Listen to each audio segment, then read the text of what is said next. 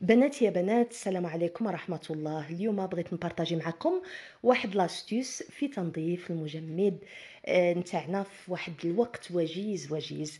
أخواتي بالخصوص في فصل الصيف فنعرفوا أن الحويجات اللي نحيدوهم هكا من آه، المجمد يديكونجلاو دغيا دغيا.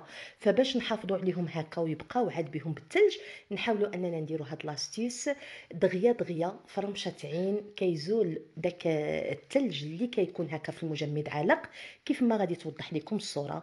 فأنا غير بغيت نبارطاجي معكم هذا الفيديو قصير لكن ممكن جدا أن اخواتكم كثار ما يكونش في بالهم هاد l'astuce يعني تقدر تنفعهم سواء في فصل الصيف ولا في فصل الشتاء.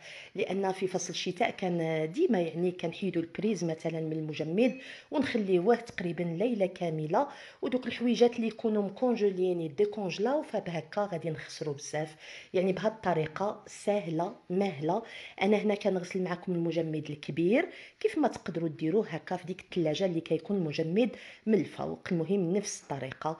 غير شنو هي؟ أخواتي ننبه عليكم أنكم ملي تبقاو ترميو داك الثلج هكا حاولوا أنكم يا إما تحطوا واحد الكرتون آه، ولا واحد الشيفون هكا اللي يكون غليظ في القاع نتاع المجمد باش داك الثلج ملي يهبط ولا يطيح في الأرض ما يتقبش لكم داك الألومنيوم هكا. وبهكا يعني غادي تخسروا المجمد ديالكم حاولوا أنكم تستعنوا بهذه الخطوة. مهم هذه هي الطريقة. كنحاول أنني ندوز السيشوار في الأماكن هكا. دغيا دغيا كيزول. أنا ما سرعت الفيديو ما والو. المهم في الأخير دوزت هكا واحد الشيفون اللي يكون هكا مبلل آه، في الأول والمرة الثانية مبلل بالماء بالخل بالخل عفوا.